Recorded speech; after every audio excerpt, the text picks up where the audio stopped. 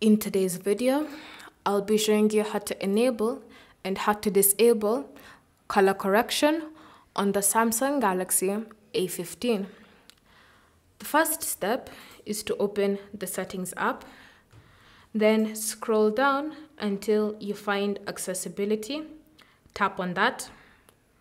Under accessibility, select vision enhancement.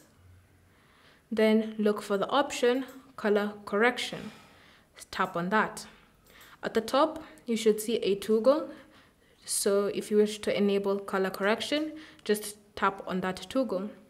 With it enabled, you have different corrections that you can use. You can have Deutan, which is green and red, Protan, which is red and green, Tritan, which is blue and yellow, or Grayscale, which is more of a black and white.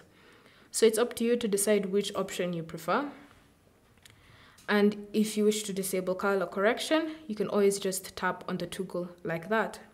So it's up to you to decide if you wish to enable or disable it and how you wish to customize if enabled. Thank you for watching. If you have any questions or comments, leave them down below and we'll get back to you.